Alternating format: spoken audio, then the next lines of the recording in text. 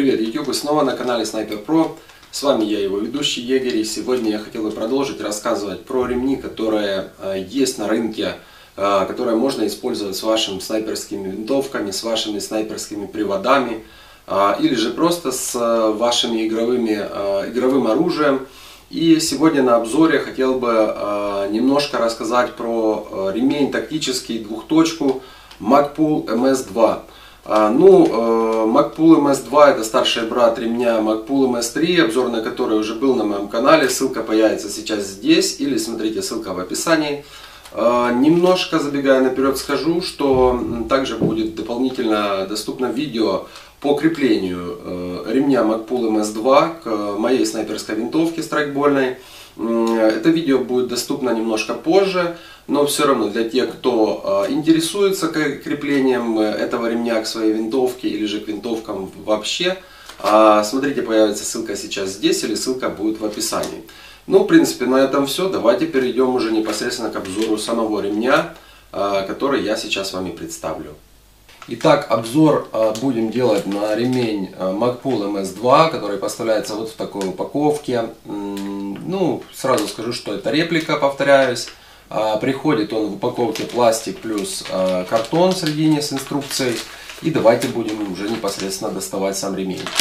А, хотел бы отметить, что мне именно нравится этот ремень, потому что, ну, во-первых, это хорошее качество стропы, и хотел бы также отметить еще и хорошее высокое качество крепежей, то есть самих карабинов. А, ну и, соответственно, функционал этого ремня тоже мне очень нравится. Итак, а, здесь на, самой, на самом картоне есть подробная инструкция, как использовать ваш ремень, а, каким образом он трансформируется в одноточку. Я это все же тоже буду показывать на другом видео со своим оружием. Ссылка на видео появится сейчас здесь или ссылка будет в описании к данному клипу. Вот. Ну, а пока мы будем смотреть непосредственно на сам ремень. Итак, э, на ремне присутствуют два карабина. Э, карабины выполнены из металла. Э, я не могу сейчас сказать, это металл магнитится или нет, то есть это настоящий металл или это сплав какой-то. Но по чувствам они, ну, чувствую, как увесистые они.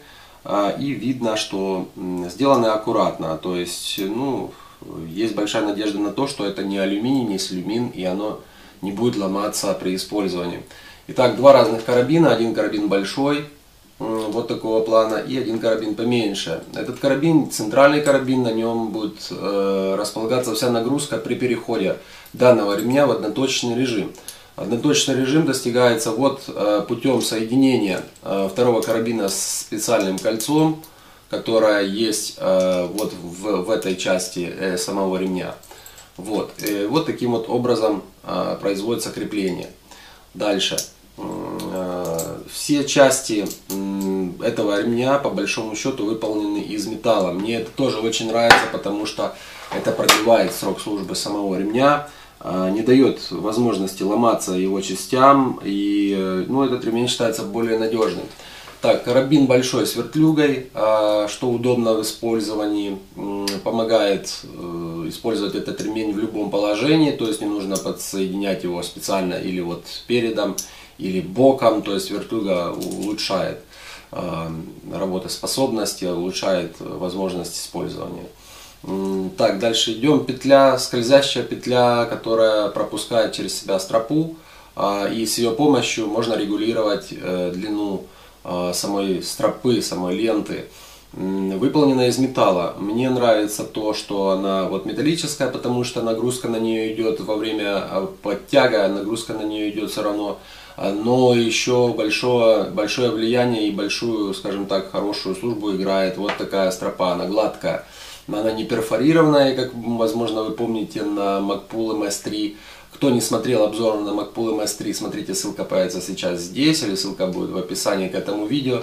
Итак, а, ширина стропы на данном ремне а, немножко меньше стандартной.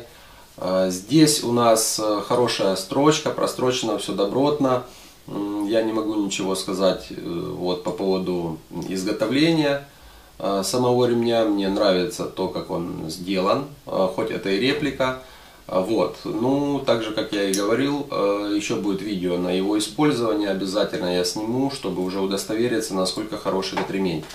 Так, идем дальше. Петля подтяга вот такого плана. Она небольшая, достаточно, чтобы схватить рукой и произвести подтяг вашей ленты. То есть отпустить или укоротить длину а, самого, самого ремня. Идем дальше. Единственная пластиковая деталь, которая есть на этом ремне, это вот этот крепеж, вот эта э, петля, э, которая позволяет фиксировать э, второй узел, вот главный узел, который является самым главным ведущим узлом в данном ремне, потому что здесь крепится кольцо для одноточки, здесь крепится главный карабин одноточечный, а, и а, вот немножко хотел бы уже остановиться на карабине одноточечном.